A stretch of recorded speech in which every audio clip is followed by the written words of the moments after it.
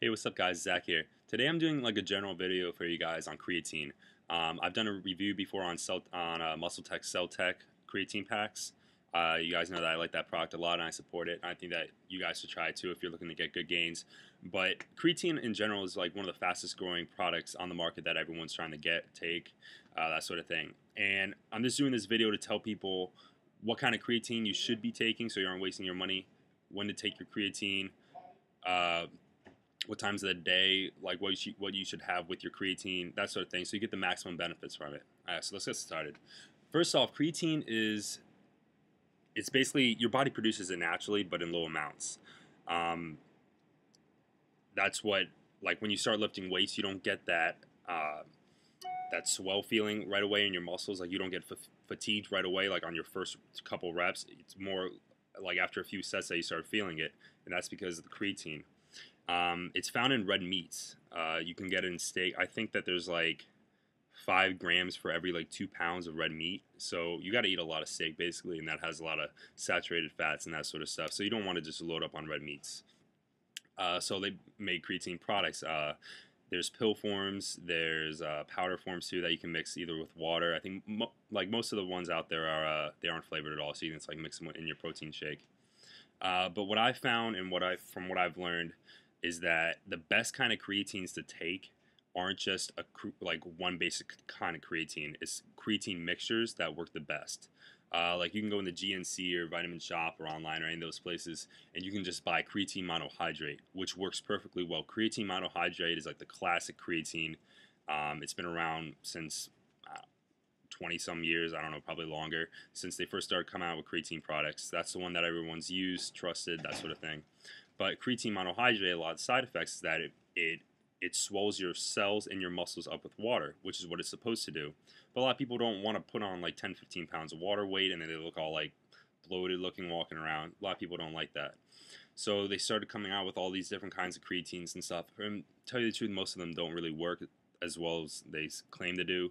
Uh, they all say that they work like 100 times better or 500% better than creatine monohydrate or whatever like they may say, but that's just advertising BS. They really don't work that well at all.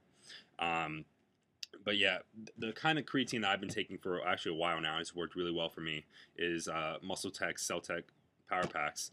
Uh, and let me break this down for you guys. It has two main types of creatine. It has Crea Pro, which is a mixture of creatine monohydrate, the classic creatine, and creatine phosphate, and omega phosp- phosphocreatine.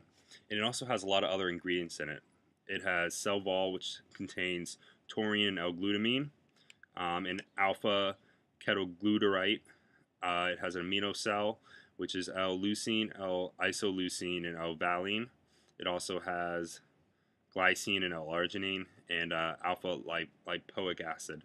Uh, so, I mean, it has a bunch of other stuff in here. It has, has some more um, ginseng extract, uh, cinnamon, and uh, L-arginine pyroglutamate. And uh, that's basically the ingredient list for this. But this is a great creatine because it has a mixture of a lot of stuff rather than just like one type of creatine.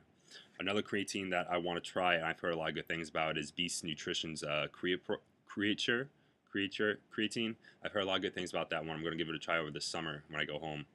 And, but yeah, getting back to like the creatine in general, you want to mainly take creatine post workout. And when you take it post workout, like when you take the pill form like like this, you get the one little pack. There's five pills in there, and a lot of people say that post workout to get like the most out of it, that's like your best time to have like a cheat meal. Well, for endomorphs, you don't want to go out and eat like a couple donuts or chips or just anything to spike your insulin. You want something very simple, a very simple sugar, a, a simple carbohydrate to, bo- to boost your insulin, and then you can get your good protein shake and your creatine into your muscles. So I advise that you take it with like I like apple juice, and that's a simple sugar. Gets to get in my bloodstream very easily boosts up my insulin, and then my creatine and my protein can go to restoring my body and starting to build up my muscle rather than like being used as energy. So I like to take like I'll take like an eight ounce glass of uh, apple juice with my creatine right after I work out, uh, and then I'll drink little, some water, get that taste out of my mouth, and I'll go and drink my protein shake when I get back to my room. And that's that works perfect for me because I can spike my insulin, but at the same time, I'm not getting a lot of fat and tons of carbohydrates. Like if you're an ectomorph, go ahead. You can go out and have a good cheat meal, eat some donuts, that sort of thing. Mesomorphs probably cut it back a little bit, but I mean, you can still have more of a cheat meal. But endomorphs, you don't really want to have a big cheat meal um, because you're just going to end up hurting yourself in the long run. Um, and yeah, basically the best time to take creatine is right after your workout. That's by far the best time to take it.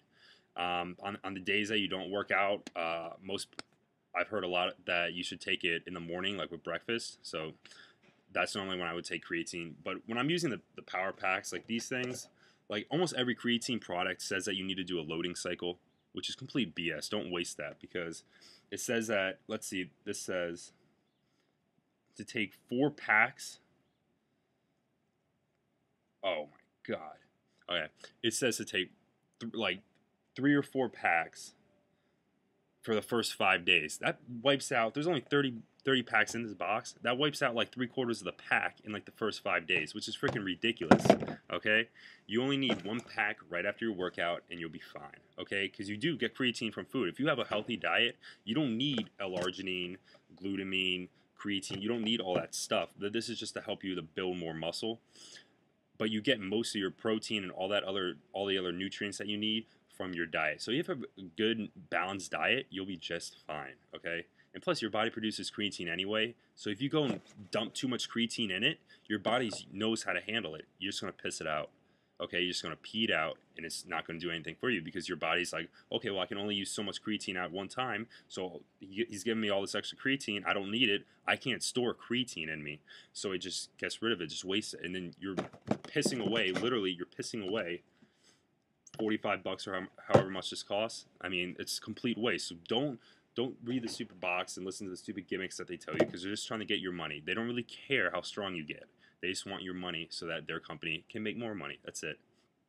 Um, so that's basically Creatine 101 for you guys.